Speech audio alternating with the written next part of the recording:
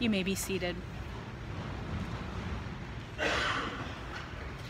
Today we have heard the continuation of the story both in 2 Samuel and in the Gospel of John.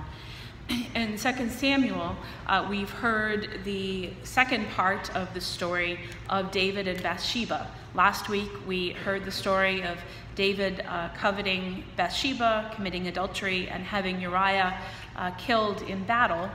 And this week, the prophet Nathan has come to uh, help David to understand the depth of his sin.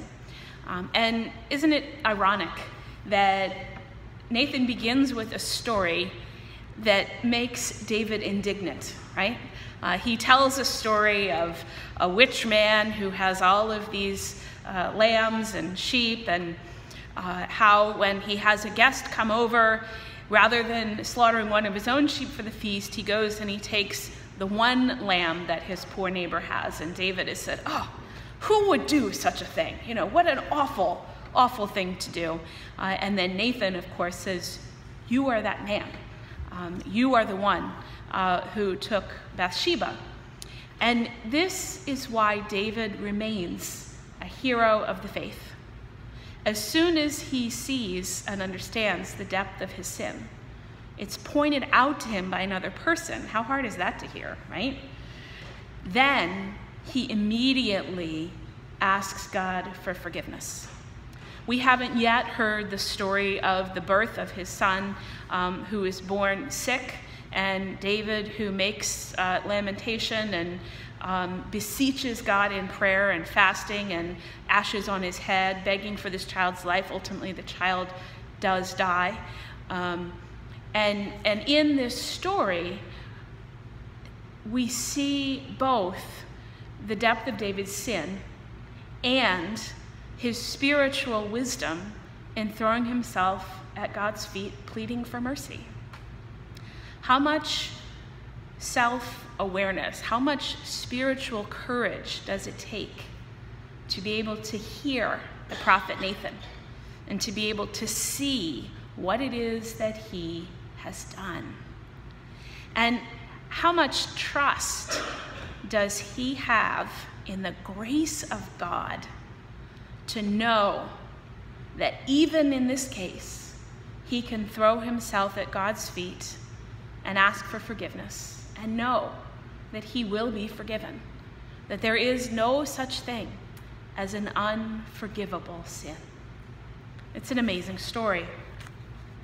We hear from the Apostle Paul, one of my very favorite passages of Scripture. In fact, if I had to choose a chapter of Scripture uh, to be my favorite, this would definitely be in the top five, where Paul begs us to lead a life worthy of the calling to which we have been called. Later in this chapter, Paul writes about spiritual gifts and the ways that we are all gifted for ministry. We are all gifted to serve the Lord. And that the purpose of the church and the leaders of the church is to equip the saints for the works of ministry. And it reminds me of one of my favorite, you know, Christian pithy sayings that you sometimes see on church signs and hear in sermons like this one. God does not call the qualified. God qualifies the called. Which reminds us that it's not about whatever it is that we can do, it's about being faithful in responding to God's call and knowing and trusting that God is able to work in and through us to accomplish anything that God calls us to do. And believe me, serving in the way that I do within the church, I rely on that truth a lot. Because if you had told me that I was going to be a pastor, I would have called you crazy before I was actually called to be a pastor. Um, and I continue, as we all do, to rely on the grace of God to equip, to rely on the grace of God who calls. That is at its heart what sanctifying grace is. It's the grace that makes us more holy. It's the grace that equips us. It's the grace that makes us more and more like Jesus. And we are promised, David understood this, we are promised that as we continue in relationship with God, as we cooperate with the Holy Spirit, even though we sin and fail and screw up and miss the mark, God continues both to forgive and to work in us, to equip and to enable us to live the life worthy of the calling to which we have been called. And then we hear the story from the Gospel of John. It's the story that immediately follows the feeding of the 5,000 with the five loaves and the two fish. It is the story of Jesus' I am statement, in which Jesus says, I am the bread of life. And so I want to ask you one of my real live questions. I haven't done that in a little while. And uh, the parameters are this if you feel led to say something, please speak out. Uh, if you prefer to be in silence, please feel comfortable being silent. And the question, I think, is a really simple one What do you think of when you hear the word bread? What immediately comes to your mind when you think of bread?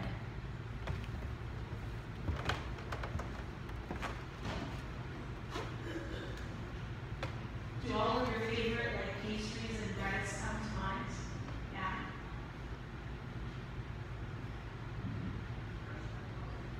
Fresh out of the oven. Hmm? Wonderful smell. A wonderful smell of bread. Oh, the yeast of bread. Absolutely. Absolutely.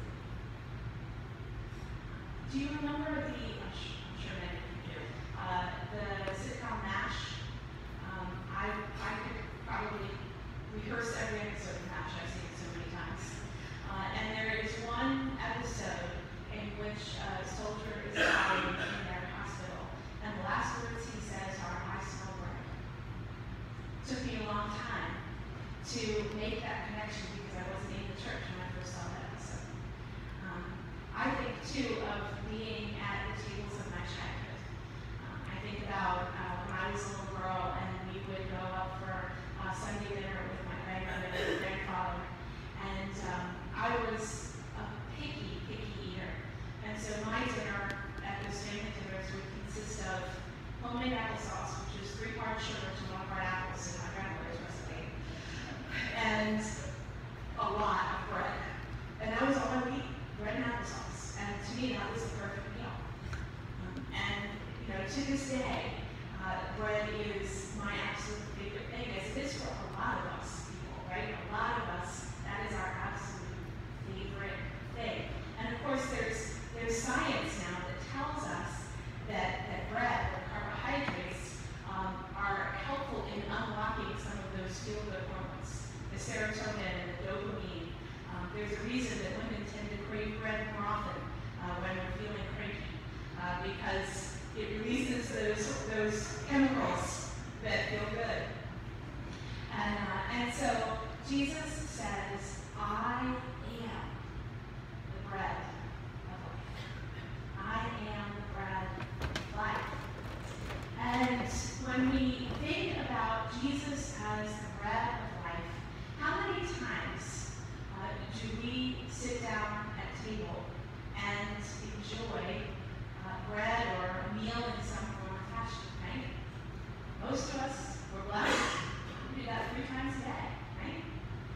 And so when Jesus says, I am bread, that implies a regular, right? Regular consumption of that bread. Uh, years ago, uh, you know, when, when I was in my early days of um, learning to read the newspaper, you know, I was beginning to imitate my family, and we got the Washington Post on our doorstep every morning. And I would wake up, and the um, first thing my parents would do is sit at the table and read the newspaper. So I would do the same thing. Of course, mine was the comics. Uh, and then as I got a little bit older, it was the comics and Ann Landers.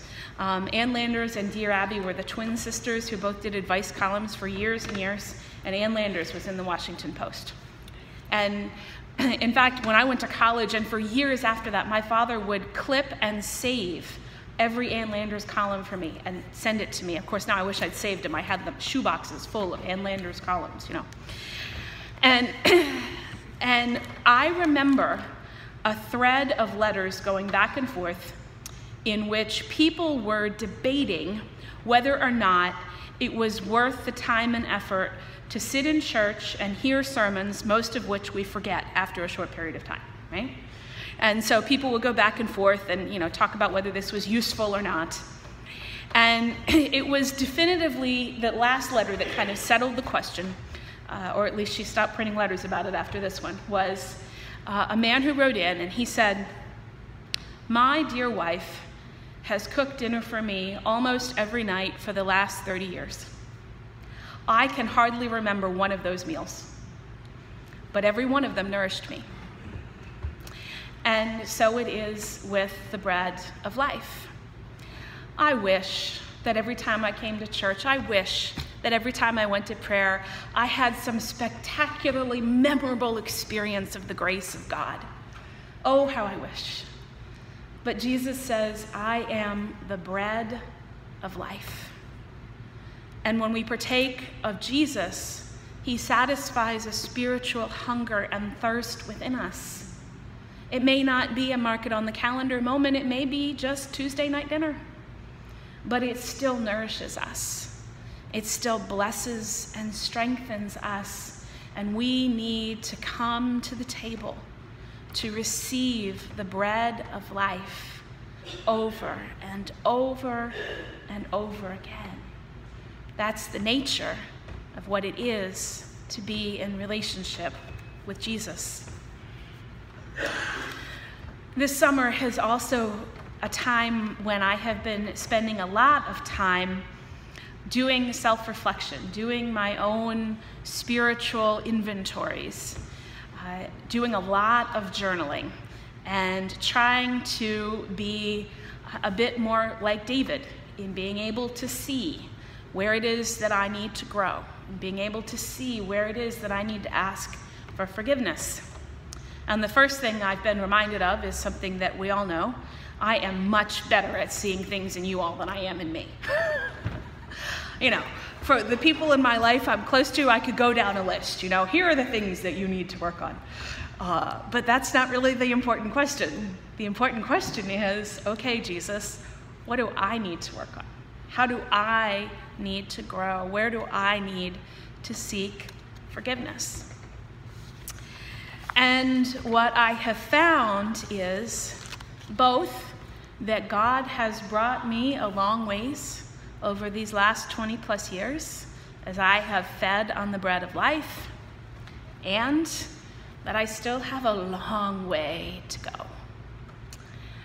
And most notably, that even some things that I thought I had kind of worked through or learned how to handle better, okay, I've learned to handle them better, but they're not done yet. I still struggle with feeling too responsible for a church that belongs to God, not me. I still struggle with surrendering to God. I still struggle with fear fear of failure, fear of not being a successful pastor, whatever that definition is, fear of not being a good wife or a good mom. All of those things are still there. And I need the bread of life to continue to nourish me and strengthen me and teach me because God has brought me a long way, but there's still a ways to go yet. This is the nature of grace. This is the nature of faith. Is that we come and we come and we come again every week, every day, as people who trust and want to trust in the grace of God. People who want to be made well, people who want to be healed, knowing that just as day by day food at our table nourishes us, so day by day the bread of life nourishes us and strengthens us and leads us along the way that we may indeed be worthy of to lead a life worthy of the calling to which we have been called. We do this not in our own strength, but in the strength of the one who feeds us, who nourishes us, who carries us, who loves us completely, and who invites us this day again to the feast of God's grace. May it indeed nourish and strengthen us anew. Amen.